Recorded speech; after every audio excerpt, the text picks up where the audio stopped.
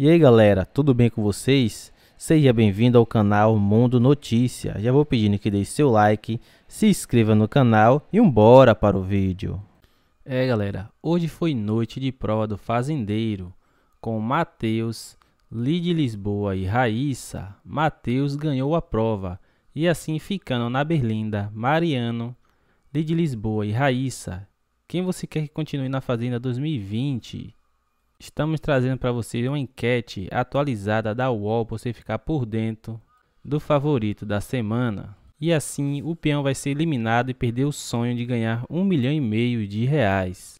Lid Lisboa tem 38,59.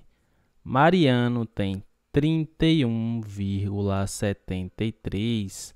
Raíssa Barbosa tem 29,68 e assim o menos votado vai ser eliminado. Tudo indica que Raíssa vai ser eliminada quinta-feira, galera. E aí, vocês gostaram? Comentem aí, se inscreva no canal e ative o sino. E valeu e até o próximo vídeo.